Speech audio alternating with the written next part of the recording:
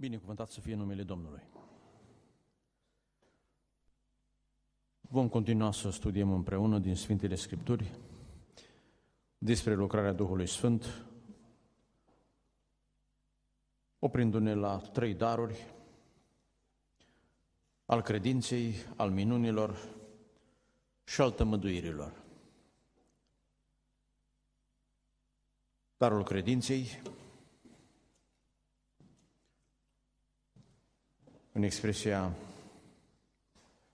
greacă pistis, are înțelesul de cunoaștere, încuvințare și presupune efectiv încredințarea referitoare la voia și scopurile lui Dumnezeu pentru prezent și pentru viitor sau încrederea supranaturală în a vedea ceea ce vrea Dumnezeu să facă. Vom privi ca și de celelalte dăți sub uh, două caracteristici darul acesta, despre care scrie Pavel în 1 Corinteni 12 cu 9. Darul credinței are la bază cuvântul lui Dumnezeu, după cum darul credinței mântuitoare se bazează pe cuvântul scris al lui Dumnezeu, pe Vechiul și Noul Testament, dar o credință se bazează tot pe cuvântul lui Dumnezeu, dar legat de cuvântul Bibliei, adică în concordanță cu el, un cuvânt specific pentru o lucrare, pentru o anumită problemă. De exemplu, încredințarea unei izbăviri, cum au fost atâtea în Vechiul Testament și în Noul Testament. Siguranța că Dumnezeu vrea să facă o anumită lucrare. Încrederea că Dumnezeu vrea să vindece pe cineva, că cineva nu va muri și multe și multe alte lucrări. Să citim câteva pasaje biblice și vom înțelege mai clar. Începem cu Evrei 11 cu 1, unde avem o definire a credinței valabilă și pentru darul credinței. Și credința este o încredere neclintită în lucrurile nădăjduite, o puternică încredințare despre lucrurile care nu se văd. Pentru că prin aceasta cei din vechime au căpătat o bună mărturie. Și noi trebuie să credem în mod absolut, fără credință este imposibil să ne apropiem de Dumnezeu, să fim mântuiți, dar unii au harul, au darul să creadă în anumite lucrări și astfel să le poată face posibile, ele să fie realizabile. Iată ce citim despre cei trei din Babilon în Cartea Daniel, la capitolul 3, versetele 17 și 28. Mai întâi este cuvântul lor, Iată, Dumnezeul nostru căruia îi slujim poate să ne scoată din cuptorul aprins și ne va scoate din mâna ta împărate. Ei au avut încrederea că Dumnezeu va face o minune pentru ei atunci.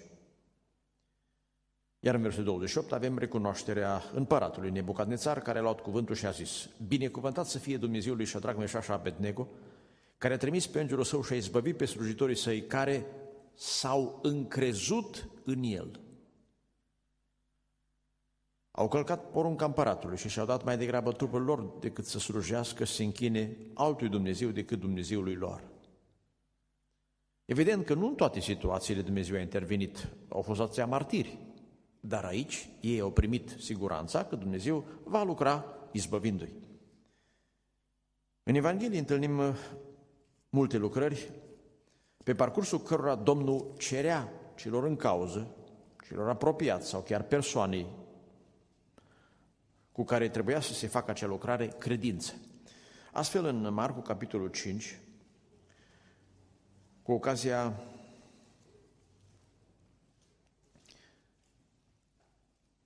vindecării fiicei lui Air, scrie în versul 36,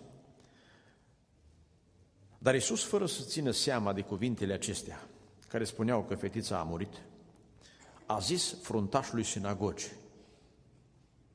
îmbărbătându-l și îndemnându-l să rămână ferm în credința care era în el, pentru că de aceea a chemat pe Domnul, dar poate la provocarea sub ispitile celor care spuneau că fetița deja a murit, slăbea. Și Domnul îi spune, nu te teme, crede numai. Și minunea, cum știți, a avut loc. Haideți să observăm și un alt aspect în care credința a fost activă, Matei capitolul 14, în umblarea pe mare a lui Petru, pentru a vedea că Petru n-a făcut altceva decât a crezut și s-a încrezut într-un cuvânt pe care Domnul l-a spus. Cuvânt valabil pentru el atunci. Nu putem uh, să avem pretenția să facem și noi, măcar o dată în viață, o probă să umblăm pe ape. Este un cuvânt specific pentru o persoană, pentru o lucrare. Matei 14, de la versetul 27. Iisus le-a zis îndată, îndrăsniți, eu sunt, nu vă temeți. Era o provocare generală.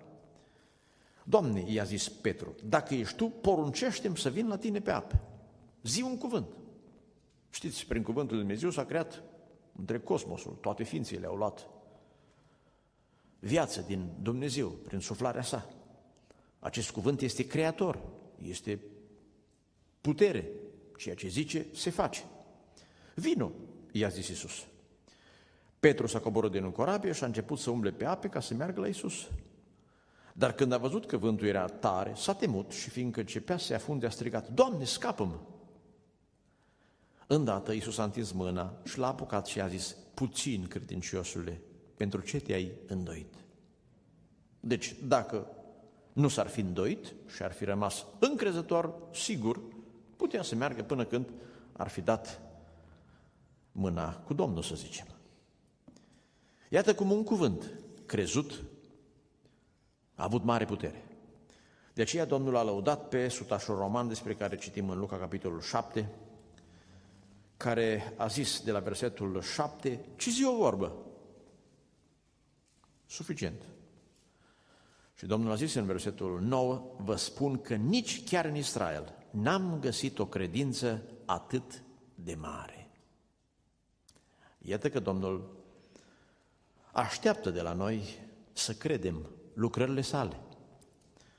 Ce să mai spunem citind Marcu, capitolul 11, de exemplu, un cuvânt interesant, de la versetul 22, Iisus a luat cuvântul și le-a zis, aveți credință în Dumnezeu. Adevărat vă spun că dacă va zice cineva muntele acestuia, ridică-te și aruncă-te în mare și dacă nu se va îndoi în inima lui, ci va crede că ce zice se va face, va avea lucrul cerut. De aceea vă spun că orice lucru veți cere când vă rugați, să credeți că l-ați și primit și îl veți avea. Nu cred că se poate face o linie de demarcație foarte categorică și clară până unde lucrează un dar al credinței special și până unde putem să tindem fiecare dintre noi în credință. Întrucât este recomandabil nu doar să credem în Dumnezeu când ne mântuiește, în Domnul Isus că vine a doua oară și ne învie, să credem atunci când ne rugăm, că Dumnezeu va lucra în biserică, va da izbăvire în familie, va face diferite lucrări. Dar totuși, unii întrec cu mult măsura celorlalți. Pentru că trebuie să înțelegem, credința nu este o forțare a minții. Ca și cum ne-am obligat să credem și ne silim și ne provocăm sentimentele și încercăm cuvintele cele mai deosebite. Este un dar, rețineți, un dar de la Dumnezeu. Pune într-o persoană o siguranță inepuizabilă o măsură întreagă pentru ca o anumită lucrare să se facă. Evident că acea persoană, ca în dreptul oricărei alte lucrări, trebuie să fie alipită de Domnul, să trăiască în neprihănire.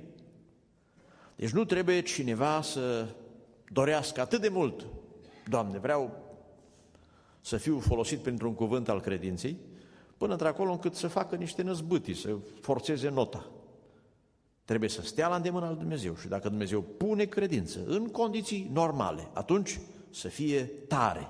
Cât despre ceilalți, să tindem să avem o măsură cât mai mare de credință și Domnul să lucreze. Amin. În ideea aceasta, adică legăm de prima idee, menționăm și a doua caracteristică. Darul credinței se asociază, de regulă lucrează împreună cu alte daruri. La apostol întâlnim uh, frecvent darul credinței.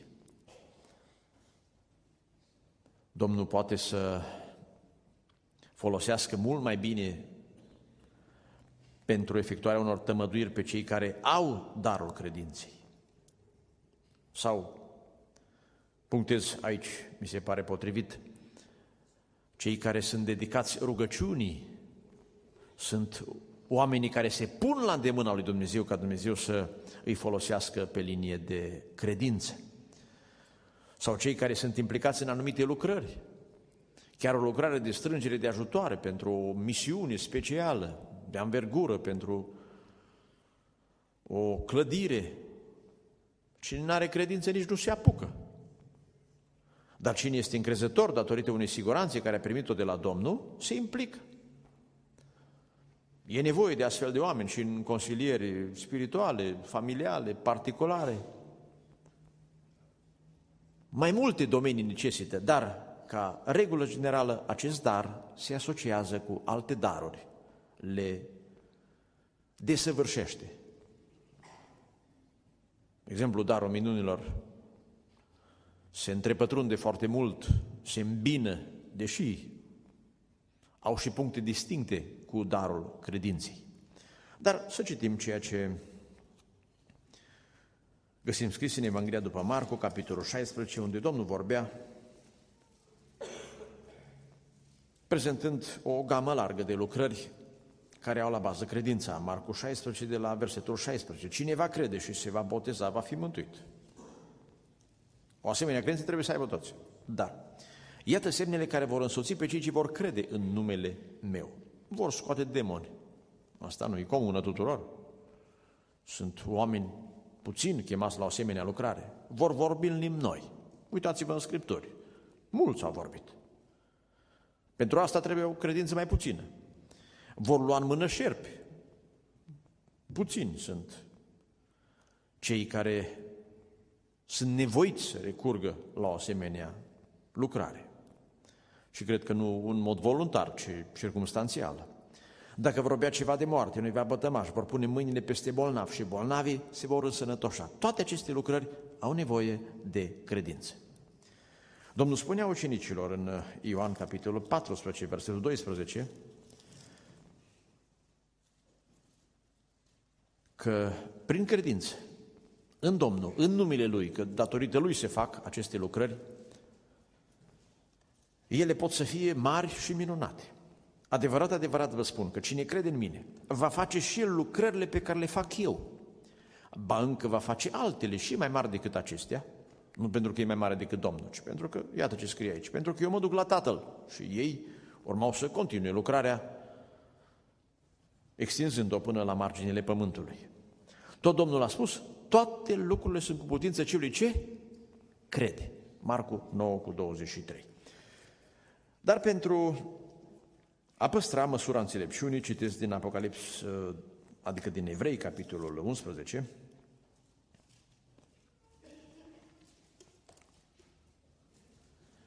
pentru a vedea că de-a lungul istoriei, oamenii care au rămas lângă Dumnezeu și au stat la îndemâna lui, au putut fi folosiți pentru asemenea lucrări. Prin credință au cucerit împărății, au făcut dreptate, au căpătat făgăduințe, au stupat gurile leilor, au stins puterea focului, au scăpat de ascuțișul săbiei, s-au vindecat de boli, au fost viteji în război, au pus pe fugă oștiri vrășmași. Femeile și-au primit înapoi pe morților în viață. Unii, ca să dobândească o înviere mai bună, n-au vrut să primească izbăvirea care se dusese și au fost chinuiți. Alții au suferit batjocuri, bătăi, lanțuri și închisoare. Au fost uciși cu pietre, tăiați în două cu fierăstrău, chinuiți, au murit uciși de sabie, au privejit îmbrăcați cu cojoaci în piei de capre, lipsiți de toate, prigoniți, munciți. Iată cum pe unii credința i-a făcut să execute în numele Domnului minuni, iar pe alții tot credința i-a împrednicit să reziste și să suporte toate greutățile vieții, dar și unii și alții au fost oamenii lui Dumnezeu. Ca exemple biblice de credință, îl amintesc pe Avram, numit părintele credinței. La el credința este evidentă pentru că n-a avut înaintași ca și noi. Noi avem un nor de martori. El, cel puțin în privința lucrărilor la care a fost chemat, a fost primul. Rămânând în acest capitol, citesc din capitolul 11, scrie de la versetul 9, prin credință a venit și s-a așezat el în țara făgăduinței. Dar, iată ce scrie și în versetul 17. Prin credință a adus Avram jertfă pe Isaac. Versetul 19, că se gândea că Dumnezeu poate să învieze chiar și din morți. Și drept vorbind că a înviat din morți, l-a primit înapoi. Au urmat alți oameni ai credinței. Moise, câte minuni s-au făcut prin el, dar primul act de credință a fost părăsirea țării Egiptului și asocierea cu poporul lui Dumnezeu. Tot aici, versetul 27, prin credință a părăsit el Egiptul. Versetul 28, prin credință a prăsnuit el Paștele. Și toate celelalte prin și numai prin credință. Vreau să vă gândiți și la Ilie. El a fost de plin încredințat și ne este dat ca exemplu de credință când ne rugăm în mod stăruitor pentru bolnavi. Așa ne-l prezintă Iacov în epistola sa la capitolul 5, de la versetul 17, când scrie Ilie era un om spus acelor slăbiciuni ca și noi. Cu asta să nu înțeleagă cineva că făcea păcate, cum fac majoritatea.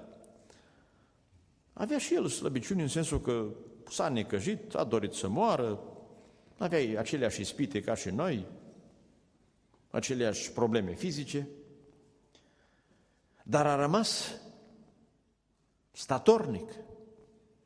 Credința l-a făcut să se roage până s-a oprit ploaia și apoi până a revenit, până când a înviat acel copil. Din Noul Testament îl amintesc pe Ștefan din Faptele Apostolilor, capitolul 6,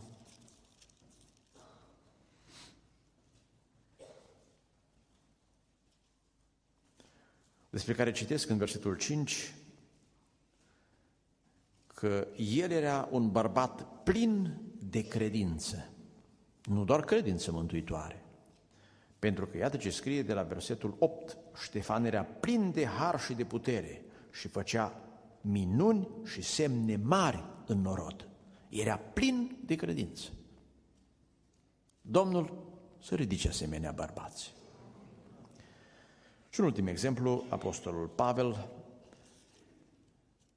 mai întâi fapte 14, de la versetul 9.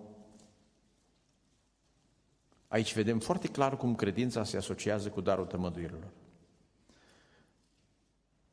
Ologul ședea jos și asculta pe Pavel când vorbea. Pavel s-a uitat țintă la el și fiindcă a văzut că are credință ca să fie tămăduit, a zis cu glas tare, scoală de drept în picioare.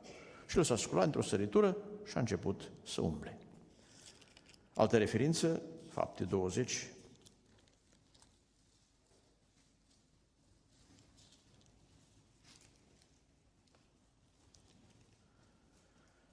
cu versetul 10, întâlnim pe Pavel în fața lui Eutih căzut, s-a pogorât și s-a repezit spre el, a luat în brațe și a zis, nu vă tulburați, că sufletul lui este în el. Deci Pavel a primit încredințarea de la Dumnezeu ca cel tânăr își revine. de aceea i-a și liniștit, a vorbit cu siguranță înainte ca minunea să se producă. Și mai amintesc tot despre el din capitolul 27, de la versetul 23, când în călătoria și naufragiu din drum spre Roma, el a primit un cuvânt de la Dumnezeu printr-un înger, apoi, rămânând încredințat, le-a vorbit celorlalți. Iată ce a zis el, un înger al Dumnezeului căruia sunt eu și căruia slujesc, mi s-a arătat azi noapte. Și mi-a zis, nu te teme, Pavele, tu trebuie să stai înaintea cezarului și iată că Dumnezeu ți-a dăruit pe toți cei ce merg cu corabia împreună cu tine. De aceea, oamenilor, liniștiți-vă, căci am încredere în Dumnezeu, că se va întâmpla așa cum mi s-a spus. Deci, după ce a primit un cuvânt de la Dumnezeu, le-a spus, exact așa se va întâmpla. Aceasta este credința. Aici avem darul credinței, că o anumită lucrare va avea loc. Și gândiți-vă, corabia n-a ajuns la țărb. Unii au ajuns în not, alții pe bucăți de lemn din corabie, dar n-a murit unul. Și el a fost sigur că așa se va întâmpla. Continuăm cu prezentarea darului minunilor. Dunamis, ceea ce înseamnă putere inerentă, a fi capabil, a fi în stare. Oamenii prin care Dumnezeu lucrează cu darul minunilor au primit abilitatea, evident, supranaturală, ca prin ei, ei să fie intermediari, Dumnezeu să modifice sau să anuleze legile naturii. Prin ei, Dumnezeu poate să aibă intervenții supranaturale în ordinea legilor uh, fizice, chimice, biologice. Ca și caracteristici, darul minunilor este o dovadă de autentificare a mesajului Domnului Hristos. Cel care a spus toată puterea mi se dat în cer și pe pământ. Și o slavă pentru Dumnezeu.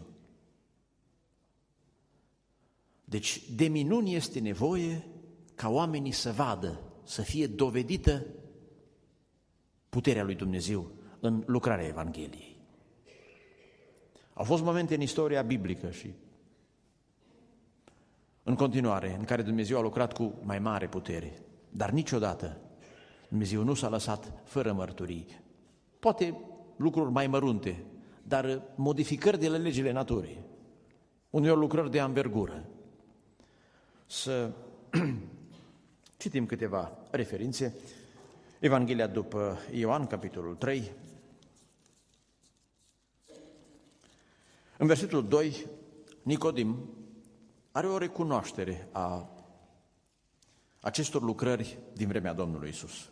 Când zice, Învățătorule, știm că ești un învățător venit de la Dumnezeu. De ce? Cu ce argumentează el? Cum își explică?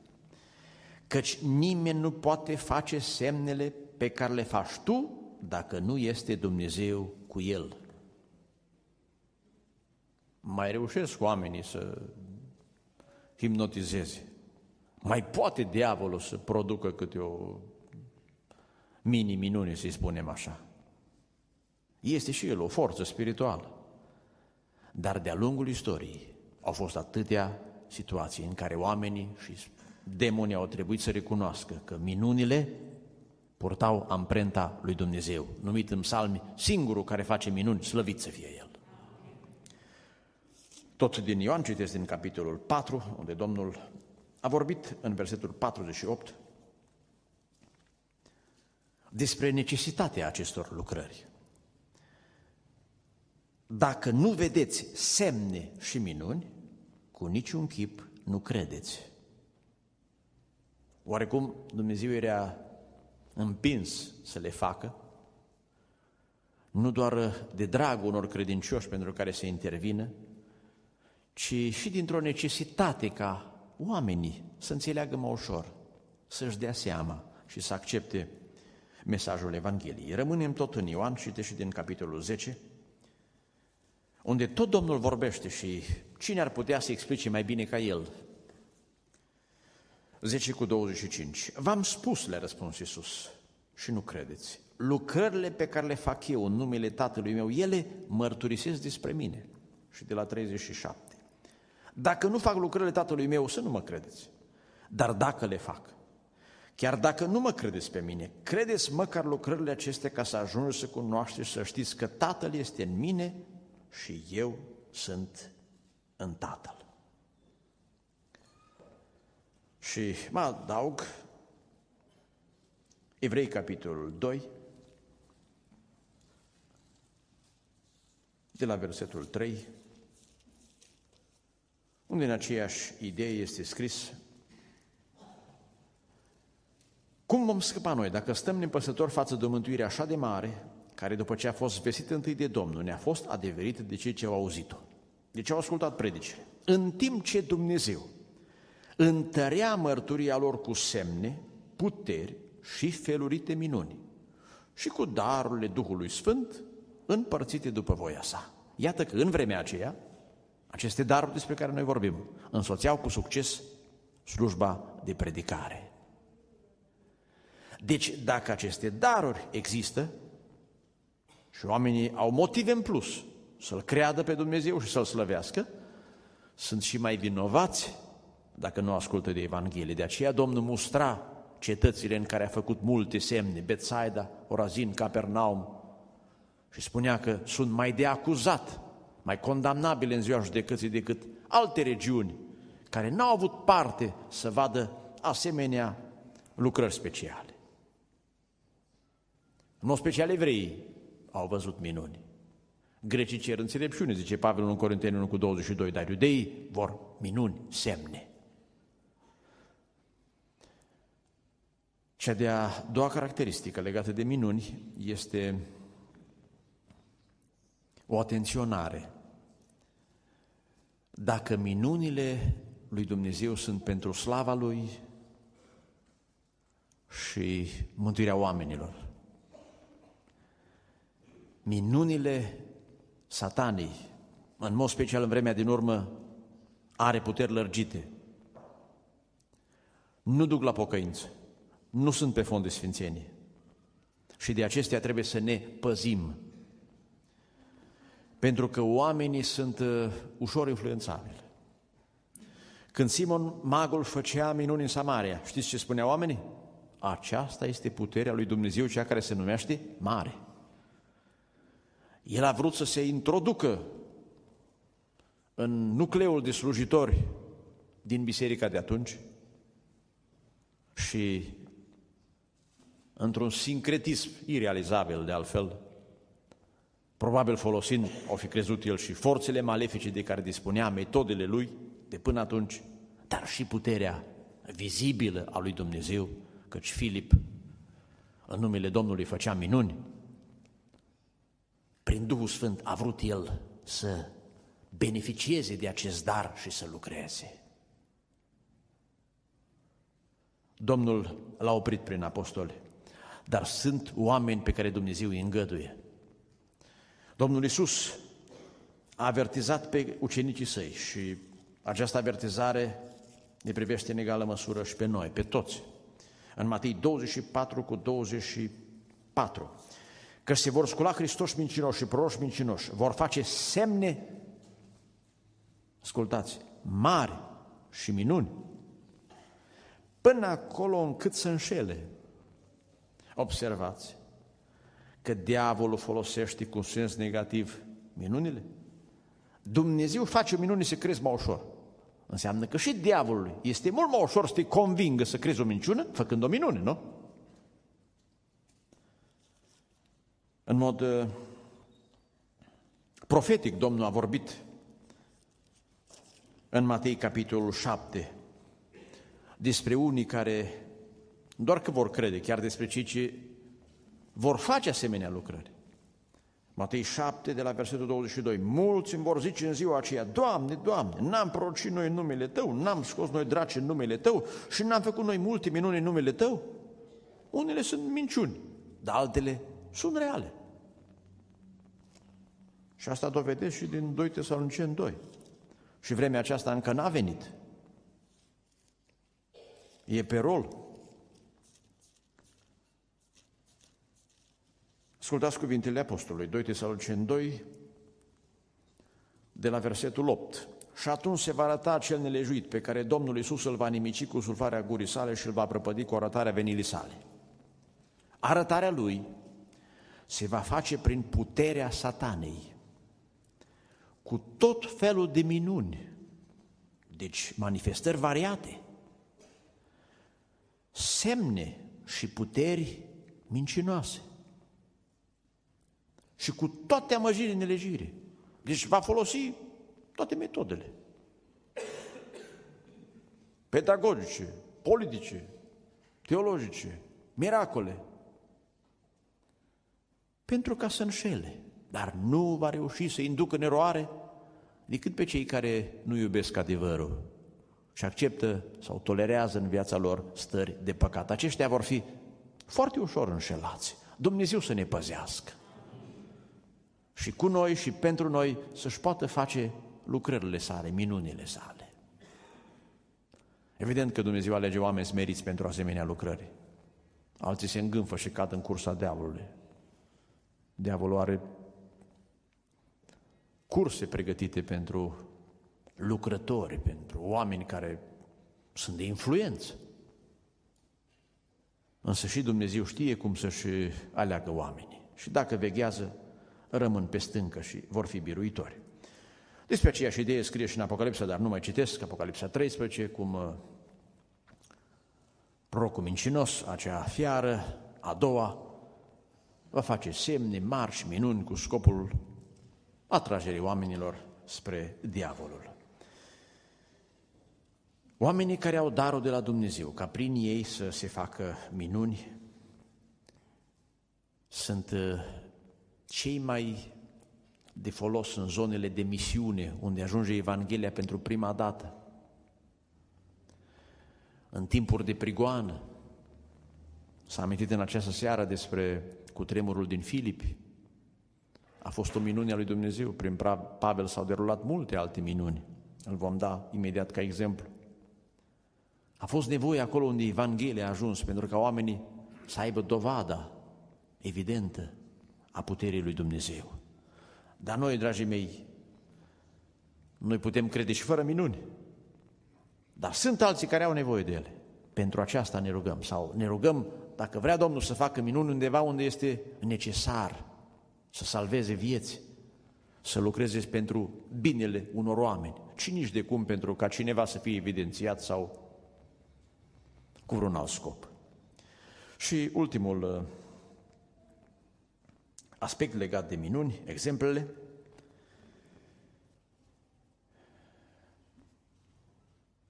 Din Vechiul Testament vă amintesc, fără să citesc, pe Moise. Câte minuni s-au derulat prin el. Ne vine să credem că erau la îndemâna lui. În mod repetat Dumnezeu l-a folosit. Și este scris în Deuteronom 34 că nimeni din vremea aceea până când s-a scris cartea, nu putea să fie pus alături de el în ce privește toate semnele și minunile pe care l-a trimis Dumnezeu să le facă. Rețineți, Moise n-a făcut nicio minune așa instantaneu să spună poporului hai să facem acum o minune, să vedem cum este. Ar fi fost ultima minune. Ar fi fost o tragedie. Doar ce l-a trimis Dumnezeu să facă. Din nou, darul minunilor este un dar. Elisei, de asemenea, privind în Vechiul Testament, a fost folosit de Dumnezeu pentru efectuarea mai multor minuni. Diverse minuni. Interesante. Fierul de la secure s-a ridicat, sfidând legea gravitației. Mâncarea dintr-o cratiță, dintr-o oală, s-a dezinfectat, aruncând făină, dar nu făina avea rolul curățirii chimice. apele amare sau făcut potabile, bune la gust. Și alte și alte minuni, înmulțirea undelemnului. Diverse minuni, dar rețineți, toate au fost necesare. În toate s-a slăvit Dumnezeu. Elisei era omul care nu avea nevoie de, de spectacol. Poate noi am fi vrut măcar să fim de față la vindecarea lui Naman, nu? Să vedem și noi cum se decojește lepra de pe el. El a spus simplu, du-te și minunea se face. Și până la moarte a văzut minunile lui Dumnezeu. Prin el s-a efectuat o minune post-mortem. S-a atins de oasele lui un om care murise și a înviat. Ciudată lucrare. Aceasta nu înseamnă bioenergie privată. Elisei peste tot a recunoscut mâna și autoritatea lui Dumnezeu. El nu putea nici măcar proroci când voia, a fost nevoie de un cântăreț să laude pe Domnul, să vină Duhul peste el. Deși avea, spuneam noi înainte, darul cunoștinței, nu le știa pe toate. A zis la un moment dat, Domnul asta mi-a ascuns-o. Deci doar în măsura și în felul în care Dumnezeu îl folosea. Dar noi amintim și citim din Noul Testament despre Petru, din fapte capitolul 5,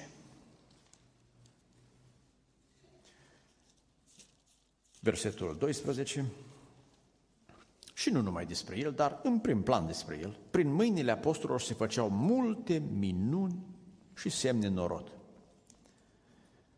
Iată cum în versetul 15, vom citi mai târziu, scrie despre tămăduiri. Dar rețineți multe minuni și semne, nici nu știm exact ce fel de minuni. O să aflăm despre ele când o să avem părtășie cu apostolii în rai. Să admitem. Tot despre el citim din capitolul 9, două lucrări. O vindecare a lui Enea și apoi o minune, învierea. Este o minune deosebită. Iată cum uh, s-a întâmplat. Citim de la versetul 40. Petru a scos pe toată lumea afară. De ce lucra așa? A învățat de la cineva, de la Domnul. A îngenunchiat și s-a rugat. Apoi s-a întors spre trup și a zis, Tabita, scoală-te. Sesizați că până n-a primit încrederea în rugăciune, că Dumnezeu vrea să o învieze, nu s-a apucat în să o sesizeze pe ea, să spună direct, ridică-te. Și minunea s-a produs. El a dat mâna și a ridicat-o în sus, a chemat îndată pe sfinți și pe vădve și le-a pus-o înainte vie. Minunea aceasta a fost cunoscută de toată cetatea Iope și mulți au crezut în Domnul. Iar el a rămas să-și facă slujba mai departe. Să citim și despre Pavel din capitolul 13, versetul 9, unde apare o minune care n-are de-a face cu magia neagră, adică a face rău cuiva. Scrie aici, atunci Saul, care se mai numește și Pavel, fiind plin de Duhul Sfânt, s-a uitat țintele și l-a condamnat pe acel vrăjitor Elima și i-a spus în versetul 11, acum, iată, mâna Domnului este împotriva ta. Vei fi orb și nu vei vedea soarele până la o vreme. Îndată a căzut peste el ceață și întuneric și căuta bășbâini niște oameni care să-l ducă de mână. Deci Dumnezeu a pus în Duhul lui Pavel siguranța că acel om va fi scos din raza de efect perturbatoare a Evangheliei și pentru ca dregătorul să fie mântuit. Alt exemplu din uh, slujirea lui Pavel, fapte capitolul 19, lucrarea din Efes. Și Dumnezeu făcea minuni nemaipomenite prin mâinile lui Pavel. Dumnezeu le făcea. Iată că deși prin Pavel s-au făcut atâtea minuni, el a putut să scrie când a zis în Corinteni, eu nu sunt nimic, Dumnezeu este totul care face, atât în ce privește predica, cât și minunile și orice altă lucrare.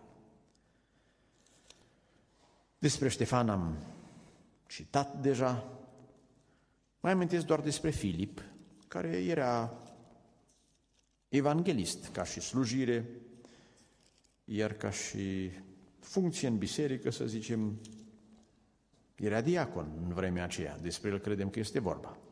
Fapte 8, versetul 5 și 6. Filip s-a coborât în cetatea Samare și le-a propovăduit pe Hristos. Norodele luau aminte cu un gând la cele spuse de Filip când au auzit și văzut semnele pe care le făcea. Observați că pe lângă auzit a fost nevoie de un văzut și asta a sporit efectul Evangheliei. Exact așa cum spuneam la început. Domnul să vrednicească evangeliștii, oamenii de misiune, bărbații de slujbă, ca prin ei la nevoie să se vadă mâna și puterea lui Dumnezeu. Și nu uitați că și în biserica noastră Dumnezeu a făgăduit anumite lucrări necesare, de dorit. A făgăduit că va folosi unii oameni în anumite ocazii pentru ca să-și facă lucrările sale. În mod normal, chiar și studiile acestea, deși eu nu m-am gândit ca să le corelez cu acest scop, trebuie să-și aibă menirea să ridice măsura noastră de credință, să ne provoace să ne rugăm mai mult, ca Dumnezeu să-și facă lucrările după planul Său. Și un al treilea dar despre care vorbim, darul tămăduirilor. Expresia originară este iama, vindecare, a face întreg. Este harul prin care unii sunt folosiți de Dumnezeu în însănătoșirea altora pe bază de credință, fără medicamentație, fără tratament. Asta nu înseamnă că noi creștinii suntem împotriva folosirii tratamentelor naturiste, acestea primează. Și, evident, după nevoie, sunt binevenite și cele de factură clasică, chirurgicale sau altele. Interzise sunt cele care au la bază ideea de bioenergie și de factură spiritistă. Deci, prin darul tămăduirilor ne vindică Dumnezeu pe cale supranaturală. Dacă folosim anumite tratamente, este un har care îl lasă Dumnezeu prin natură și prin oameni. Deci, noi vorbim despre darul minunilor, al tămăduirilor, dar asta nu înseamnă că trebuie să sărim de pe strașina templului să facă Dumnezeu o minune forțată. Asta nu înseamnă că nu ținem un regim sau mâncăm nesănătos sau ne permitem anumite lucrări care sunt împotriva firii sau naturii, ca Dumnezeu după aia să facă probe pe noi și să ne vindece. Dumnezeu vindecă și aceasta este prima caracteristică,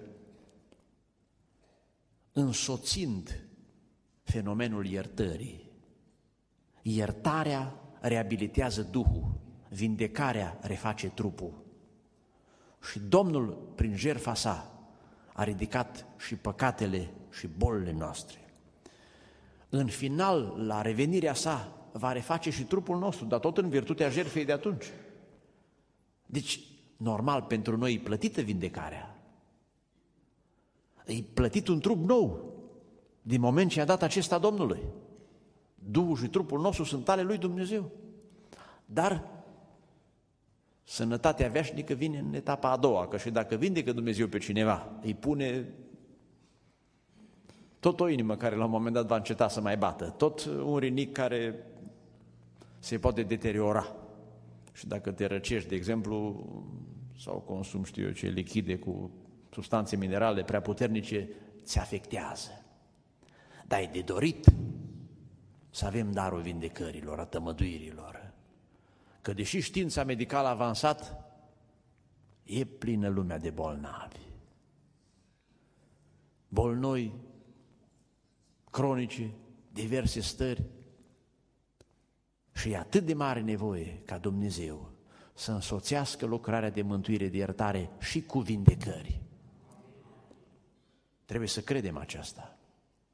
Cuvântul Dumnezeu ne dă posibilitatea aceasta. Trebuie să ne rugăm ca Dumnezeu să ridice oameni prin care să se folosească în lucrarea de vindecare. Să citim din Scripturi, din Matei capitolul 8, pentru a justifica ceea ce am spus. Versetul 14 în continuare prezintă un caz urmat de mai multe și o explicație. Iisus a dus apoi în casa lui Petru și a văzut pe socra acestuia zăcând în pat prinsă de friguri. S-a atins de mâna ei și au lăsat-o frigurile. Apoi a s-a sculat și a început să-i slujească.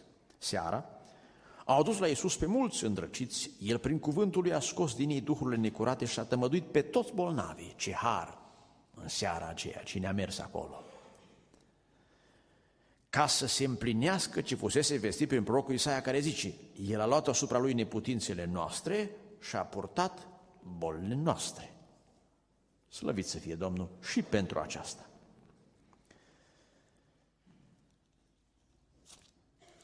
Mai citesc și din Ioan capitolul 6.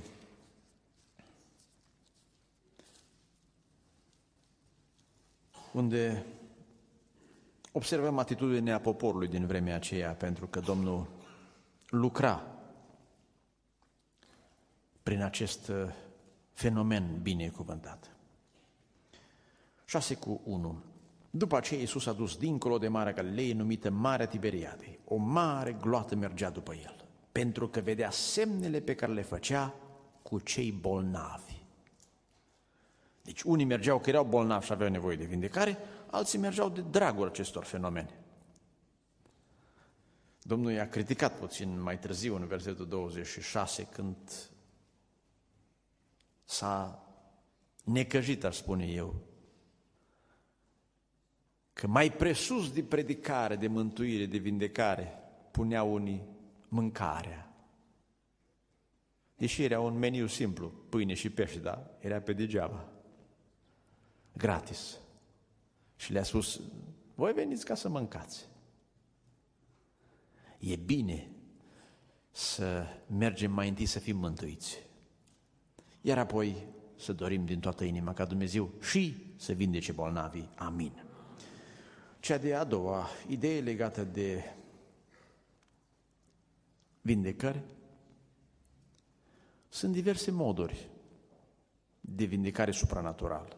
Ungeri cu un de lemn, rostirea unui cuvânt pe bază de credință, rugăciuni ale credinței, atingerea din partea celor care au acest dar. Toate acestea pot fi folosite în mod divers. Domnul decide cum va lucra. Observați, nici Domnul Iisus n-a făcut toate vindecările după aceeași metodă. La unul i-a spus, du-te și fă așa, de altul s-a atins, pentru altul a preparat o substanță ciudată din ce a avut la îndemână, pe ucenici i-a trimis să ungă bolnavi cu un de lemn, diverse metode.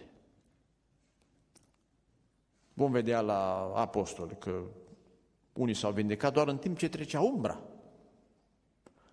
Uneori metoda au ales-o vindecătorii, alteori au ales-o pacienții bolnavi. Ce a spus femeia care s-a vindecat? Doar să mă ating de haina lui și problema e rezolvată. Sunt niște stimuli ai credinței. Că normal la o credință mare, iar revin la sutaș. Ar fi nevoie să ungem pe cineva cu un de lemn. Ar fi suficient să te rogi de aici, să vindeci toți pe unde sunt. Am citit despre un caz din uh, Africa de Sud, cu ocazia trezirii printre zuluși, când aveau ei un camion mare și aduna pe toți cei ce voreau să meargă la acele adunări de evangelizare și mai mulți bolnavi, printre care orbi, n-au reușit să se urce în acel camion, era plin. Și s-au rugat acolo, în drum unde au rămas. Bine că nu s-au ispitit. Și Dumnezeu acolo i-a vindecat pe câțiva dintre ei. Acestea sunt lucrări care au fost cunoscute în urmă cu 20-30 de ani. Haideți să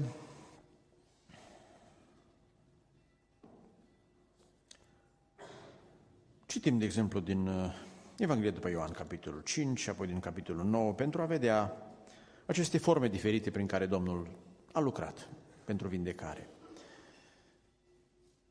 În Ioan 5, Domnul întâlnește un slăbănoc de 38 de ani și îi zice doar atât în versetul 8, scoală-te, ridică spatul și umblă.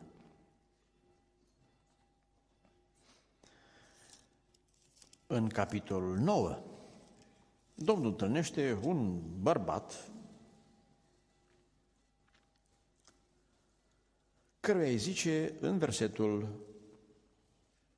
7, după ce i-a uns ochii cu tine, cum scrie în versetul 6, du-te de te spală în scăldătoarea siloamului. El s-a dus, s-a spălat și s-a întors văzând bine.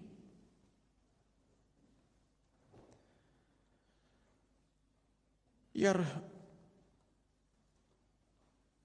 acum să observăm câteva exemple. Cele mai multe din lucrarea Domnului Isus, unde sunt cele mai multe, Luca 5 cu 17, ne arată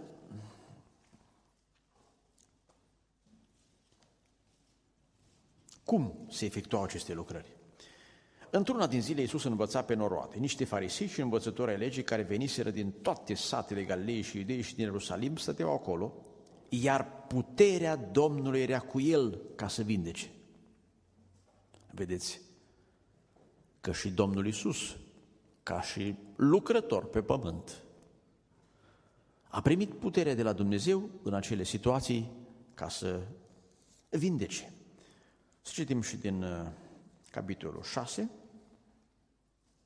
versetul 19, pentru că Luca vrea să aducă o mărturie despre faptul că era o putere de la Dumnezeu, era delegat pentru asta. Și tot norodul căuta să se atingă de el, pentru că din el ieșa o putere care îi vindeca pe toți. Fac o paranteză. Este nevoie ca Dumnezeu să lase putere mai mare peste unii oameni dacă vreți să se producă asemenea fenomene. Mi-a venit acum în minte cazul unei familii. Acel frate este acum păstor și mi-a relatat recent cazul. Se născuse o a doua fetiță în casa lor și era bolnavă. O boală care se prevestea a fi cronică și necesita un tratament mai greu și de durată. Doctorița i-a sfătuit să înceapă repede tratamentul, la care ei au spus, doamna doctor, suntem de acord, asta este, dar nu îl începem până după rugăciunea de binecuvântare. Avem noi o înțelegere în Duhul nostru, nu ne încăpățânăm, dar înțelegeți-ne. Am vorbit cu păstorul pentru duminica în care să fie la ei în biserică și respectiv i-a spus că era ocupat pentru vreo trei duminici. Nevoiți și împinși de doctorițe care i-a spuseseră termenul când în mod normal merg la biserică, au convenit să facă binecuvântarea într-o zi de joi seara. Dar, ziceau ei, am fi vrut să fie mai mulți la biserică, joia mai cu seamă la țară, oamenii sunt prinși la lucru, dar am pregătit ziua aceea cu poș și rugăciune. Seara, spre surprinderea lor, a intrat fratele Ioan Mazăre de la Boșorod. Neinvitat. Frații de acolo l-au chemat la rugăciunea de binecuvântare, inspirat a rostit cuvinte de vindecare și fetița n-a mai avut nimic nici până în zi de azi. Acel om era folosit de Dumnezeu. L-am cunoscut și eu personal, alături de alții care au fost în țara aceasta și de care este multă nevoie. Revin la vindecările Domnului Isus. Să știți, chiar studiindu-le, un prieten mi-a povestit cum s-a vindecat singur acasă și Domnul a spus că s-ar putea vindeca oricând, dar n-are credință. Și a zis, Doamne, dar ce să fac să dobândesc credință? Și Domnul a spus, studiază vindecările din Evanghelie. Citesc din uh, Matei, de la capitolul 4, începând cu versetul 23. Iisus străbătea toată de Galileea și gândiți-vă că era plin de Duh când făcea asta, învățând pe norod în sinagogi, provenind Evanghelia împărăției și tămăduind orice boală și orice neputințe care era în norod. Deci el a primit Duhul fără măsură, de aceea putea să le vindece toate bolile, toți bolnavii care erau. Doar în Nazaret n-a putut să facă mai mult datorită împotrivirii și necredinței lor. Dar pentru a mai observa câte amănunte, va amănunte, citim și din uh, capitolul 9, tot Matei, versetul 30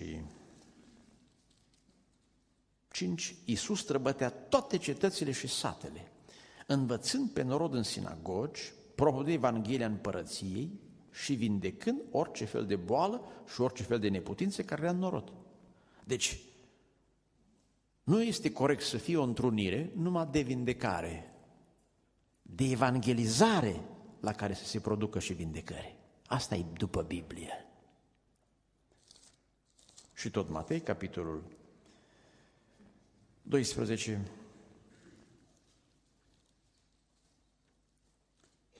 Unde este o vindecare în ziua sabatului, așa cum îl înțelegeau ei greșit, și când Domnul a explicat că nu asta era voia lui Dumnezeu, și esența avem în versetul 13. Atunci a zis omului aceluia, întindeți mâna.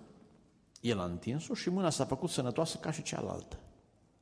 În loc să se bucure, unii s-au uh, împotrivit pe fond uh, tradițional, le încălcase ritualurile lor.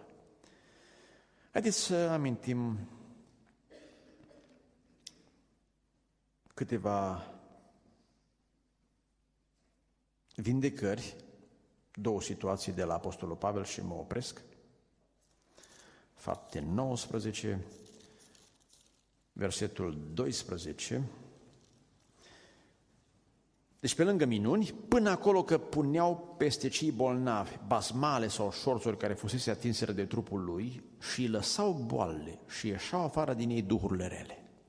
Și aceasta de normă lucrare tare necesară. Și fapte 28, versetele 8 și 9. Tatălui Publiu zăcea atunci în pat bolnav de friguri și de ordinare. Pavel s-a dus la el, s-a rugat, a pus mâinile peste el și l-a vindecat. Atunci au venit și la bolnavi din ostrovul acela și au fost vindecați. Vedeți cum o vindecare naște credință? Și după una s-au făcut mai multe. Uneori am văzut localități unde se blochează oamenii și nu se mai întoarce niciunul la Domnul. E greu să pocăiască unul. După ce, de exemplu, se pocătește câte o familie, e foarte ușor după aceea să pocăiască 10 familii. Și și la vindecări. Se deschide izvorul de credință. Oamenii obțin har de la Domnul, încredințare și lucrările acelea se fac. Domnul să lucreze. Închei cu ideea că toate acestea sunt daruri. Ele ne vin de la Dumnezeu. Dumnezeu le dă celor care sunt călăuziți de Duhul Său. Prin ei vrea să slăvească numele și să lucreze spre mântuire. A Domnului să fie slava în veci. Iar noi să dorim ca în felul în care El dorește, da aceste lucrări și darurile sale să fie în biserică. Amin.